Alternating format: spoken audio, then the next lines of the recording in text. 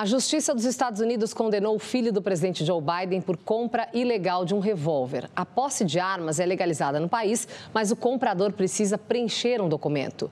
E é, Hunter Biden mentiu sobre seu vício em drogas ao assinar o formulário. A sentença pode chegar a 25 anos de prisão e multa equivalente a 4 milhões de reais. Ele irá recorrer. Em comunicado, o presidente afirmou ter orgulho do filho e que respeita a decisão da Justiça. O furto de energia elétrica no ano passado bateu recorde e ultrapassou toda a energia gerada pela hidrelétrica Belo Monte. Os chamados gatos de energia sobrecarregam as redes elétricas, podem causar curto-circuito e incêndio, além de encarecer a conta de quem paga a conta crime. Quem desvia a corrente elétrica antes que ela passe pelo registro comete o delito de furto. É o que ocorre quando a pessoa faz uma ligação direto do poste. As perdas não técnicas, os populares gatos, superaram no ano passado toda a geração da hidrelétrica de Belo Monte, no Pará, a segunda maior usina do Brasil, e somaram 60% do fornecimento de Itaipu, a maior do país.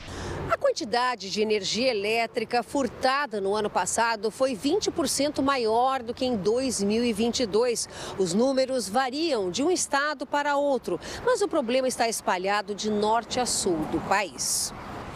46,2% das perdas no mercado de baixa tensão estão concentradas na região norte. Em seguida, aparecem as regiões sudeste, nordeste, centro-oeste e sul.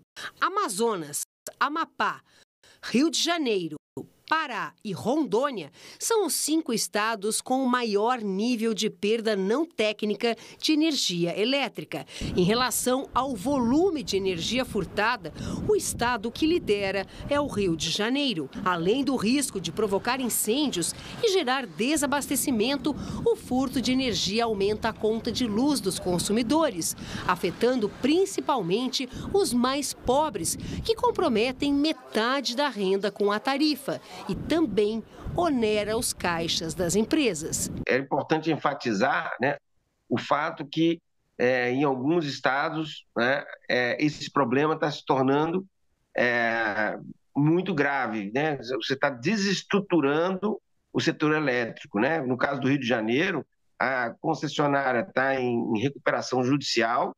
Né? Você tem uma situação que, de um aumento muito importante do nível de perdas nos últimos nos últimos meses e nos últimos anos, né? Nós passamos da luz amarela, né? Nós já estamos na luz vermelha. É importante buscar soluções rapidamente, porque senão o sistema colapsa. E, e aí vai ficar não apenas é, difícil para aquelas comunidades que hoje não, não, não pagam a energia, mas também para quem paga a energia, não só por causa do preço, mas também a qualidade, né?